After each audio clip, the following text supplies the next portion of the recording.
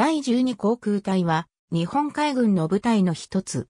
爆撃機、攻撃機、戦闘機からなる特設の戦爆連合部隊として編成され、シナジ編序盤に下中方面で戦闘、爆撃に従事した。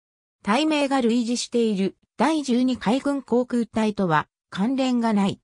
本航空隊の故障を第12海軍航空隊、または第12航空隊などとしている文献があるが、これらの故障は誤りである。昭和12年7月7日、露光橋事件が勃発し、日中が武力衝突し、シナ事変が始まるや、否や、海軍は事件からわずか4日後の11日に6個航空隊の大陸派遣を決定した。戦略爆撃を担当する第一連合航空隊は、木更津海軍航空隊と鹿屋海軍航空隊からなり、制空を担当する2個航空隊と偵察を担当する2個航空隊は第2連合航空隊を編成した。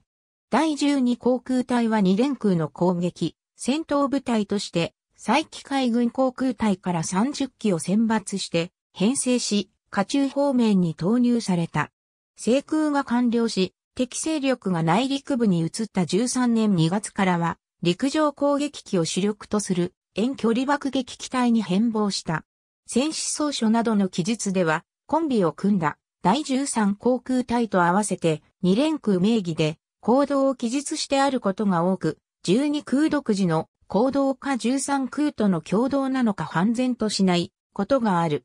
7月11日再起飛行場で臨時編成。第2連合航空隊に編入。7月28日2連空は第2艦隊付属に編入。8月7日大連の州水子飛行場に進出。9月7日、上海港大飛行場の制圧完了。広大に進出。9月19日蘇州、広州、加工を13空と共同で偵察。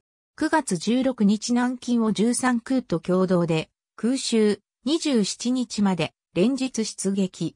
9月19日南京空襲時に敵戦闘機体と空中戦。13空と共同で14機を撃墜。喪失なし。9月22日公院方面で中国艦船を13空と共同で爆撃。寧海、平海、一戦を撃破。10月1日上海上陸作戦を13空と共同で支援。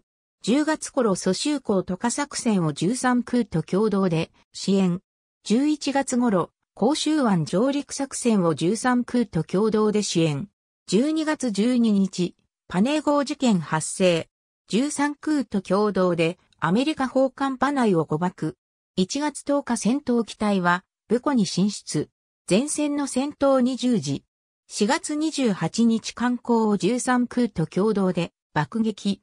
6月26日南昌を強襲。機銃走者で19機を地上撃破。7月14日観光南昌を爆撃。以後、観光攻略作戦に従事。11月15日の陥落まで全力出撃。9月14日、陸軍小作戦に協力。1940年9月13日、冷戦の初陣を飾って観光に帰還した搭乗員と12空間部第12航空隊、戦闘機搭乗員。左から横山保つ、大石秀夫、蓮尾隆氏、二人置いて、三上月、一人置いて、はきり松尾、羽田徹、伊藤淳次郎1月10日競輪を爆撃。4月偽証作戦に参加。占領後は偽証に進出、奥地爆撃、防空に従事。7月21日零式艦上戦闘機の供給開始。当初、横空から空輸してきた横山保平 A 班観光基地から選抜された新藤三郎平 B 班で構成された。8月19日横山隊率いる A 班0戦12機、立候54機の護衛発に投入されるが、快適せず。以後、重慶爆撃隊の護衛に0戦を投入。9月13日重慶上空で0戦の初空中戦。新藤隊率いる0戦17機が中国空軍第4大隊戦闘機27機撃墜を報じる。10月4日、横山大尉率いる冷戦8機、生徒を立候27機と共に強襲。東山一郎空曹長、羽切松尾一空想、中瀬正幸一空想、大石秀夫二空想の4機は、前日に4人で極秘に計画した案により、太平デーラ飛行場に強行着陸を観光、地上部隊の銃撃に遭遇しながらも地上機を焼き討ちし、撃墜6機、地上炎上19機を報じた。3月14日生徒を強襲。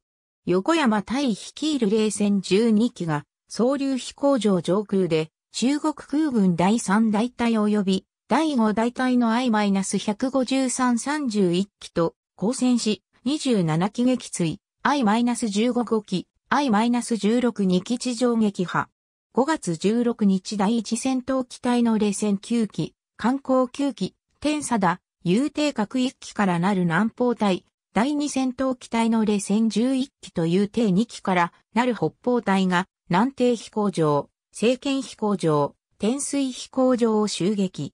鈴木率いる北方隊は遠石上空にて I-153 5機撃墜、天水飛行場にて I-153-17 機及び SB1 機を地上撃破。5月21日、重慶向け爆撃機体の護衛に参加。9月15日内地機関、解体。昭和16年度は、対米衛星を睨んで、水死準備に着手することとなり、12空は内地機関と共に新規基地航空部隊の拡張、新編要員に振り向けられた。12空の撤退によって、海軍航空隊は大陸から完全に手を引き、大陸戦線の航空船は陸軍飛行隊に一任されることになった。今村治大佐、1937年7月11日から1937年11月15日、三木森彦中佐、大佐、1937年11月15日から1938年12月15日、キラ俊一大佐、1938年12月15日から1939年10月25日、古瀬規制中佐、大佐、1939年10月25日から1940年6月21日、長谷川喜一大佐、1940年6月21日から1941年3月25日、内田一太郎大佐、1941年3月25日から1941年9月15日。ありがとうございます。